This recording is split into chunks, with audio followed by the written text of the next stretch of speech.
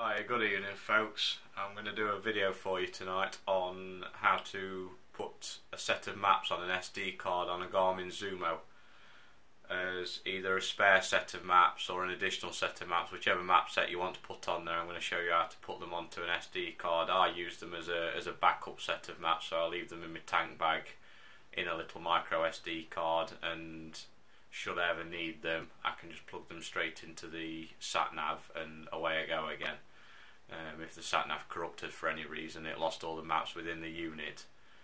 Or, as I say, for, for as an additional set of maps, if you've if you've bought some American maps and you don't want them on the sat nav all the time, um, you can have them on an SD card and just plug them in as and when you need them.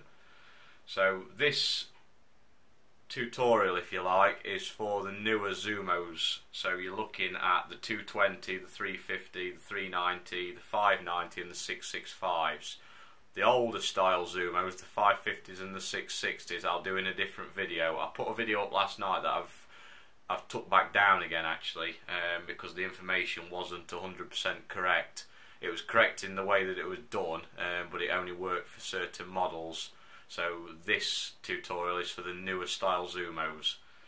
The first thing you're going to need to do is, if you've not already, is download Garmin Express and you need a blank SD card, formatted SD card to FAT32.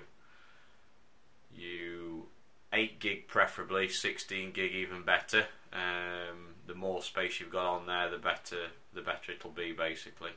Um, you can put more stuff on there, more maps, music, whatever else you want on it. But 8 gig at the least. Next thing you need to do is plug your Zumo into the computer and make sure it's got the latest software updates on it. It'll tell you if you're up to date or not on the software in Garmin Express and also while you're in there for your peace of mind I would do a full backup on your Garmin if anything went wrong and you did anything wrong, at least you've got that backup that you can resort back to. The the thing that we're doing tonight shouldn't alter your Garmin anyway because you're basically putting everything onto an SD card. What we're going to do is we're going to make that SD card think it's the Garmin Zumo. And so when you put the SD card into the computer, Garmin Express is going to recognise that SD card as the Zumo for a temporary period of time, i.e. just enough time to install the maps and then we're going to revert it back to just an SD card with a set of maps on it. So the first things first, on the new Zumos, the device operates in MTP mode most of the time, Media Transport Protocol mode. We need to change that to mass storage mode just for um, accessing some extra files within Zumo. And the way that you do that is you're going to turn your Zumo on to start with. Once it's turned on you're going to access the volume button I shall do it with you here. It's probably easier. Let me just turn my Garmin on and then I can show you. So we're going to turn it on till we get the main screen. Once we've got the main screen we're going to go to volume. Once we're in volume we're going to press and hold the top right hand corner of the screen for roughly 5-6 seconds until you get the diagnostics page up. Then you're going to go into configuration and settings, MTP settings, and make sure it's ticked on mass storage. Usually it'll be on the top one. You make sure it's in mass storage and press save. Then you're going to want to put the SD card that you've got, the blank SD card, put it into the computer either via the SD slot on the front of the computer or via one of the little USB dongle things with the um, SD slots on the side of it. It's got to be a micro SD card, remember, because it's got to go into the Zumo after. So plug that in, and also while you're at it, plug your Zumo in as well via the normal USB cable. So on your My Computer, when you load it up, or the this PC, um, whichever you've got, you should have um, your blank SD card showing on there and also the Zumo should be showing on there. My Zumo's just been plugged in so it'll be showing in a minute. There it is. Right, let me get rid of that maps one because that's not a, that's not necessary for the minute.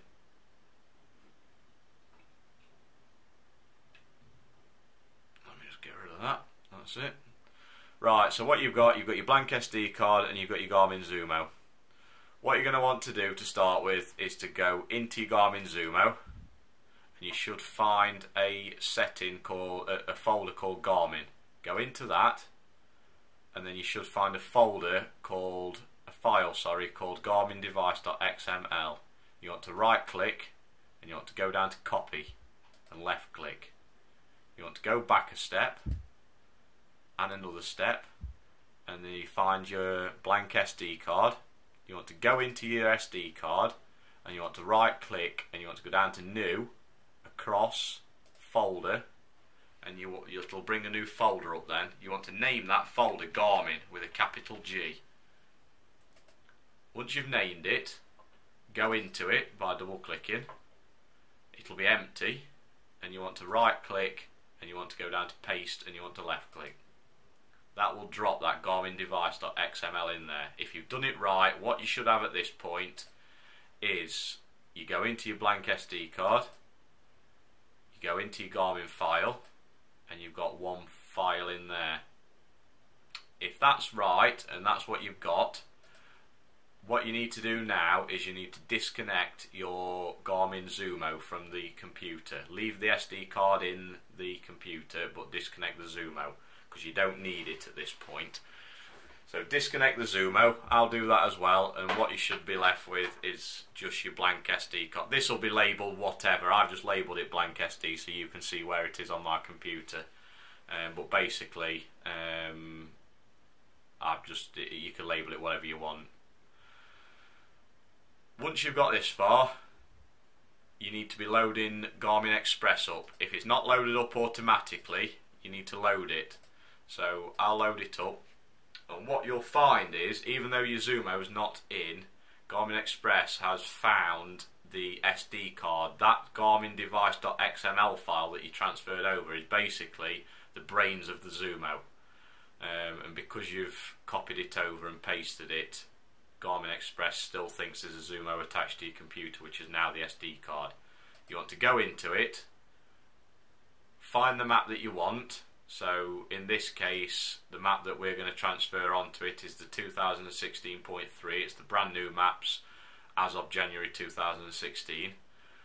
And we're going to want to install.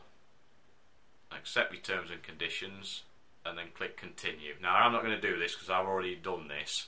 So I'm going to uh, skip this point, but click continue and it will basically tell you roughly how long it's going to take. It will be faster than doing a normal map update because it's not having to run through a through a USB cable into your Zumo. It's directly into the computer. Your SD card is, so it'll run a lot quicker. So anyway, let that do that, um, and when you've done it, what you should be left with is go back into your PC, into your My Computer, or into this PC, depending on which um, version of Windows you're using. And I've relabeled, this should really be labelled blank SD still, which is what I'll relabel that blank SD so it don't confuse you. Um, it's just so it didn't confuse me. So this is now your blank SD. If you go into it, you should now have two folders in there. One's your Garmin folder that you did earlier on, that's still got just that Garmin device in it. And the other one should be a dot system folder that's got a load of gumph in it. Now this gumph, as I call it, are your maps and your terrain and everything else in there. If you've got that, plug your Zumo back into your computer via the USB cable. And I'll do that again. So it's in. And what you'll see is you'll have your blank SD and your Zumo will pop up there very shortly with a bit of luck.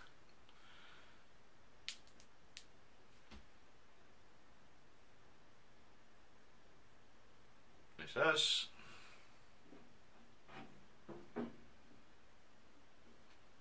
Ah, there we are. Right, so you've got your blank SD, which has now got your maps on it, and you've also got Garmin Zumo, which is good. What you want to do is you want to go into your SD card, you want to right click, and you want to make another new folder. and you want to call this folder map with a capital M. Make sure they've got capital starting letters on them um, or else it won't work.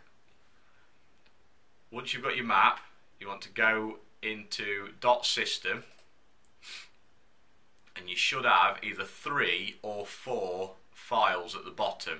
You will definitely have three um, gmap prom files, a gmapprom.unl, a gmapprom.img and a gmapprom.gma. Them three files are your maps. Some people will have a gmap.dem file.img. That one is for people only who have got 3D terrain on their sat navs, so mainly the 590 Zumo people. Um, you'll have that file. If you've got that, what you want to do is select all four. If you've not got that, select just the three GMAP prom files. So I'm going to select all four because I've got the 590. If you've not, um, and you've not got the 3D terrain on, or basically if this if this um, set if this file isn't in here, then you've not got it. If it is in there, you want it to copy. You want to be copying it.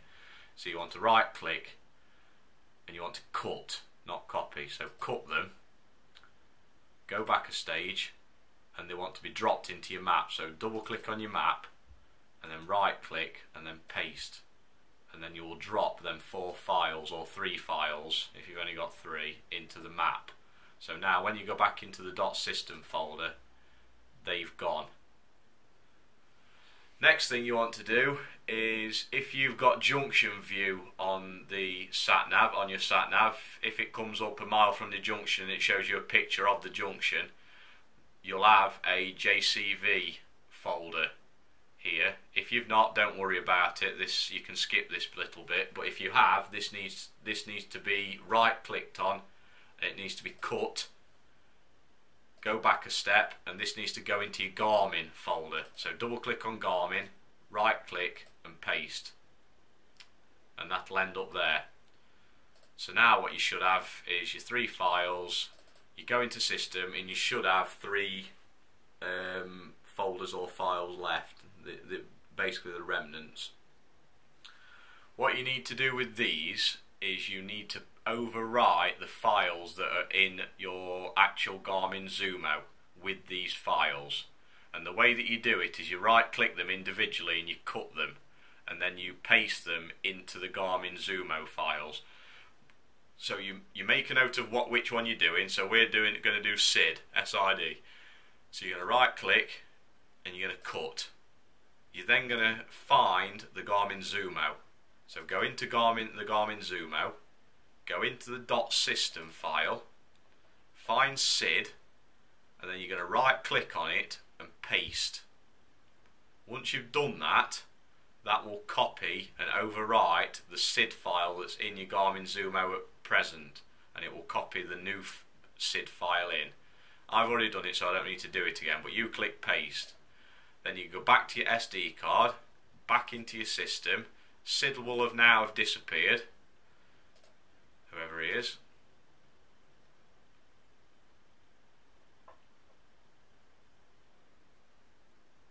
Okay, and then you do the same again with SQLite and Dot Express, and they're both located in the Garmin Zumo under the dot system folder. So we're going to right click SQLite, we're going to cut, we're going to find the Zumo, we're going to find the dot system folder, we're going to find SQLite and we're just going to hover over it, right click on it and then paste it. And then that will overwrite that file. And again same again for the dot express which again is just underneath here. Once you've done that and you've done all three once you've gone into the my system file let me just get rid of these because you'll have already done this. Once you've gone into the dot system folder it should be empty. There shouldn't be anything left in that now. So you can go back a stage and you can actually delete the dot system file folder. Go down to delete and delete it. So what you're left with on the SD card now is a Garmin folder and a map folder. The Garmin folder should have JCV if you've got junction view. If you've not, it'll only have the Garmin device in there. In your map, should have either three or four, but you should definitely have three GMap prom files in there. They're your three map files. If you've got that, then basically what you've done is you have transferred everything you need to transfer onto that SD card. You can now take the SD card out, you can unplug your Zumo, and you can put that SD card into your Zumo and then you'll know if it's worked or not because you'll go into your settings in the Zumo itself and you'll go to maps and you'll see click on installed maps and on there you should see the map set that you have just put on the SD card which is the ones that you've downloaded from Garmin Express. If you can see them in there there's just one last thing that you need to do and you need to take your SD card back out of the Zumo and plug it back into the computer once you've found it, once it's back in the computer, go back into it. So you've got your two files again, your two folders again. Go into Garmin and just get rid of the Garmin device.xml file. Just right click it and delete it and get rid. So then you'll either end up with nothing in here or just the JCV in here.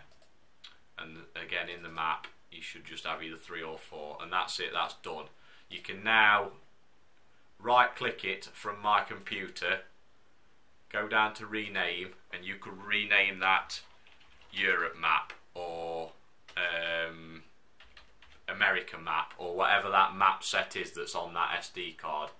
And what you'll see is it is actually quite a large file. Um, there's 2.72 gig free out of 7.4 on that map, so it's quite a decent sized map that.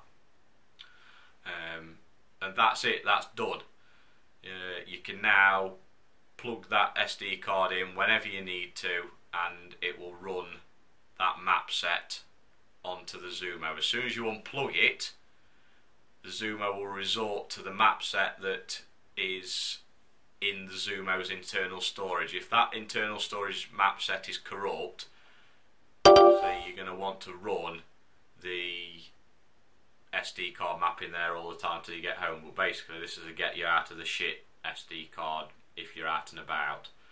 So I hope that helps. As I say, you can stop and start this video, I'm sure, um, but just make sure that um, you've done everything that you've seen me do on here and you'll be fine and that will do and I will do another video shortly on the older sat navs, the 550s and the 660s, because they are slightly less complicated to do than these new ones. Um, just as an end point, when you've done, turn your Zumo back on, press your volume button, press and hold the right hand top of the screen until you get your diagnostics page up again, and then find that MTP settings and then turn it back to MTP auto mode because there's no need for you to be accessing any of the configuration settings from here on in unless you're going to put another map on. So just turn it back to the standard setting that was in the Zumo before we started and that's it. Okay, have a good evening and I shall speak to you soon. Cheers.